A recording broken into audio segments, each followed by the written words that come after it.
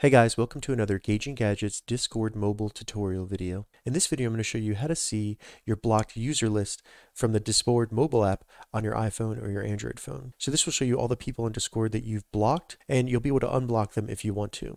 So the first thing we need to do is open up the Discord app on our iPhone or Android phone, and then what you want to do is get to where you can see the list of servers in the left side, because this shows you the menu at the bottom.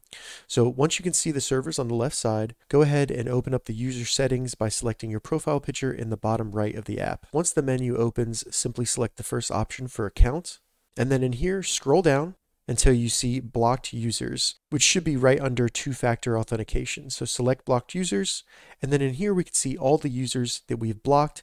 And if you want to unblock them, just find the user you want to unblock. You can open them up to see more information about them, and then you can also select unblocked whenever you want to. That will remove them from your blocked user list, and you will no longer have them blocked within Discord. All right, so that's how you see your blocked user list on Discord Mobile either iPhone or Android. If you have any questions about this, leave a comment below. I'll get back to you as soon as I can.